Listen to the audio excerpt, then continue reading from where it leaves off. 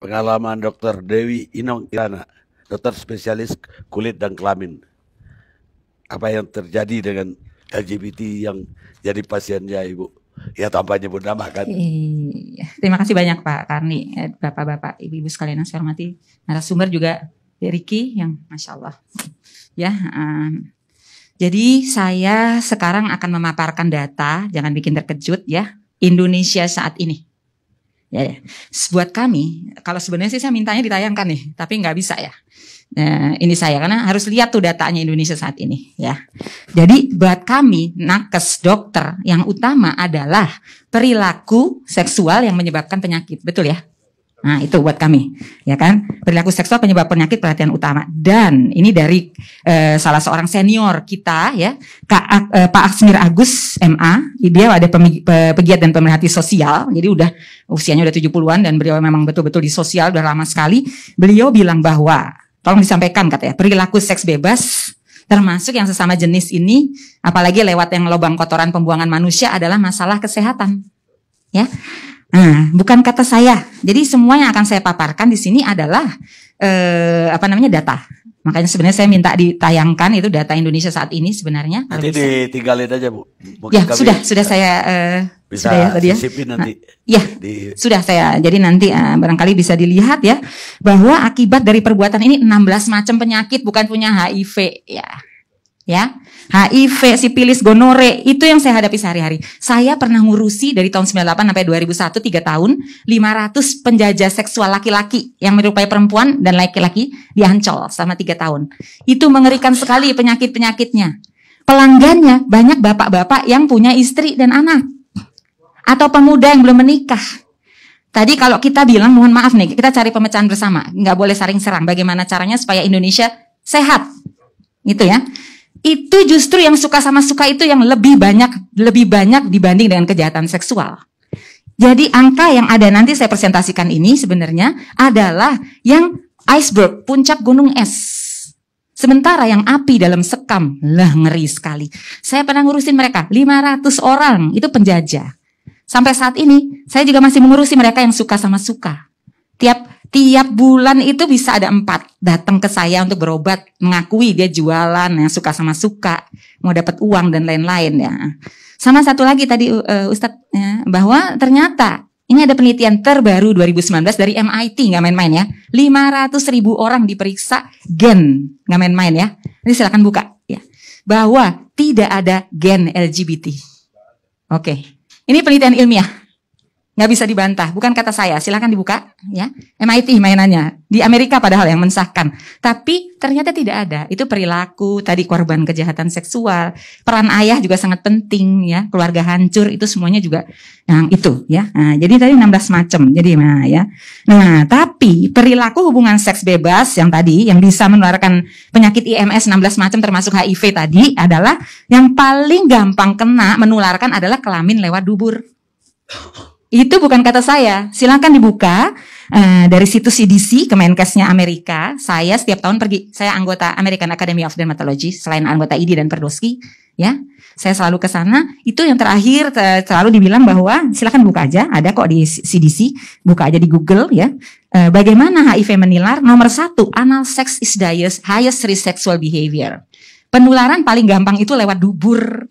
Dan ini terbukti dari data yang akan sebenarnya saya tampilkan di Indonesia saat ini. Tapi sebenarnya perilaku seksual sesama jenis lewat dubur itu menimbulkan penyakit-penyakit baru yang belum ada obatnya karena tidak sesuai atau menyimpang fitrah.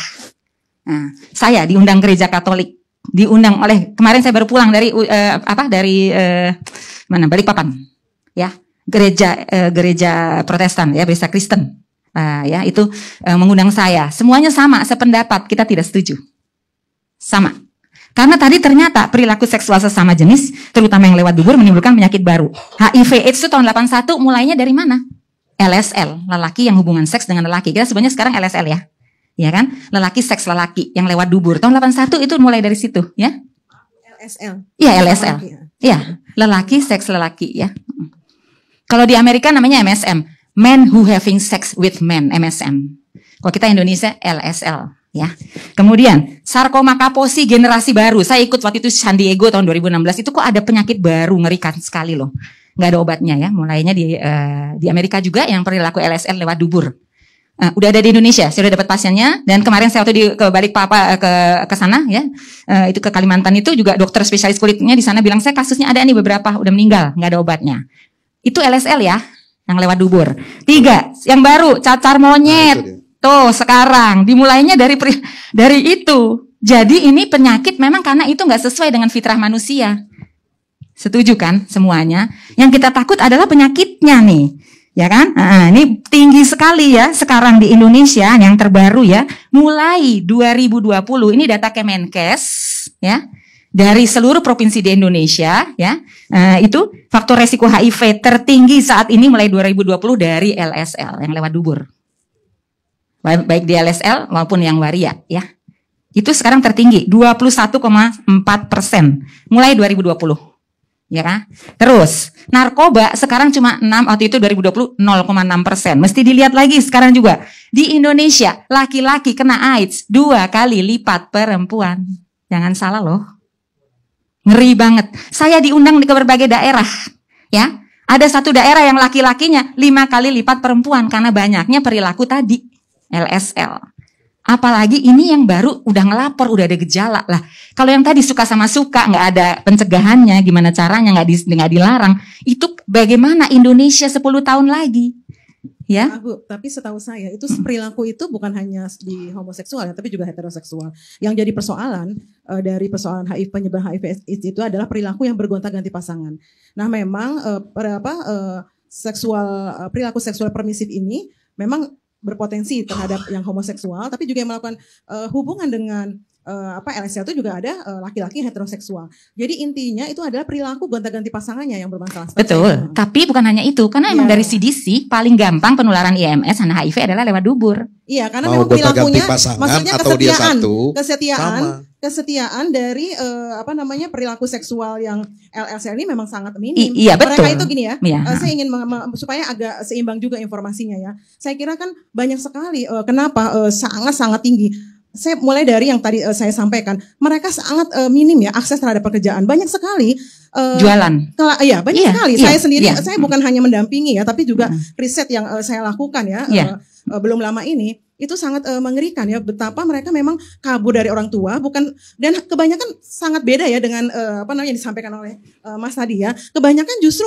orang tuanya tuh memang menekan dia supaya perilakunya lurus dalam tanda kutip normal dalam tanda kutip ya dikasih mainan laki-laki. Tapi memang dari awal dari sejak uh, dini ya itu mereka memang cenderung untuk bermain bersama perempuan. Jadi bukan lalu diarahkan uh, untuk misalnya berbeda. Yang kebanyakan tuh memang swasta sekali. Loh anak saya kok main sama anak perempuan itu udah dari awal. Tapi memang kecenderungannya sangat uh, memang berbeda ya dari awal dia kecenderungannya memang feminin. Nah lalu dia uh, mis misalnya mandi bersama uh, dengan bapak-bapak gitu yang mereka memang beda ya dari tampilan yang secara lebih uh, feminin gitu ya. Akhirnya mereka juga uh, apa sangat rentan terhadap kekerasan. Lalu orang tuanya malah melakukan itu sempat ya digantung lalu diasap gitu ya supaya uh, sadar gitu. Banyak sekali kekerasan ketika mereka Arti. kecil remaja gitu yeah. ya. Jadi mungkin hanya kasuistik yang yang yang apa yang orang tua tuh justru memperlakukan itu berbeda tuh mungkin nggak banyak ya. Tapi justru yang yang lebih banyak adalah KDRT karena dia melihat anaknya berbeda. Jadi diluruskan dalam tanda kutip dengan cara-cara pemaksaan.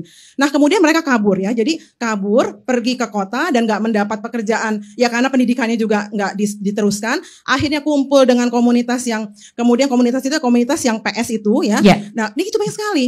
Nah, itu kan Setuju. kan persoalan bukan persoalan tiba-tiba kita menyalahkan ini karena LS bukan gitu, tapi itu akar persoalan yang memang runut ya dari uh, stigma yang diberikan dari kecil lalu tidak ada uh, apa namanya uh, kasih sayang atau tidak ada perlindungan dari keluarga akhirnya kabur uh, pendidikan nggak selesai tidak ada pekerjaan yang layak akhirnya menjadi PS nah PS itu ya pasti udah ganti-ganti udah gonta-ganti pasangan namanya juga PS betul. Nah kita harus melihat akar ini. Ketika kita semakin uh, memberikan stigma terhadap mereka uh, semakin membuat mereka akhirnya merasa aduh saya tuh kan kenapa saya akhirnya misalnya tadi ya tertekan untuk misalnya uh, mencoba menjadi lurus itu karena kan semua nggak ada privilege terhadap uh, mereka yang yang yeah. privilege itu kan hanya ada pada heteroseksual. Heteroseksual, kamu bisa bercinta, kamu bisa punya kasih sayang, sementara kasih sayang itu kan bagian dari kehidupan. Kita ingin hidup tuh disayangi, dicintai gitu. Tapi kamu homoseksual tidak boleh. Kamu aseksual. Kamu tidak boleh uh, punya kasih sayang. Kasih sayang itu hanya milik heteroseksual. Uh, nah, boleh. bagaimana? Ya. ya, sebentar. Bagaimana kemudian orang tidak merasa tercekam, merasa sangat ketakutan ketika dia menyadari,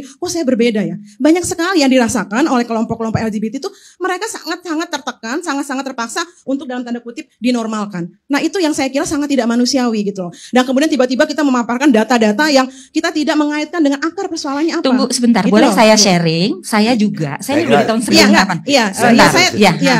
Uh, saya, ya? saya mengapresiasi data-data ya. yang disampaikan, tetapi kita juga uh, mesti empati dari mana ini berasal. Tunggu dulu. Akarnya uh, seperti betul. apa? Betul. Jadi saya juga sudah lima tahun ya, Pak Karni membantu Pemkot Depok ya tiap tiga bulan itu mengumpulkan 150 100 sampai 150 penderita HIV ya 90 di antara mereka adalah LSL tuh bukannya dia eh, ini ya saya ya. ingin tahu apa latar belakang dia apa pekerjaan ini apa dari data-data ini kita iya, harus tahu gitu. Betul tahu. Uh, Jadi kebanyakan itu, mereka tuh terjun uh, sebagai PS ya kan. Tunggu dulu ini belum selesai. Ada, Jadi ada. pendampingannya bukan hanya dari kesehatan kita obatin, kemudian ada pendampingan psikologis, pendampingan agama dan yang paling penting adalah Pak Karni diberikan keterampilan gratis, Pak.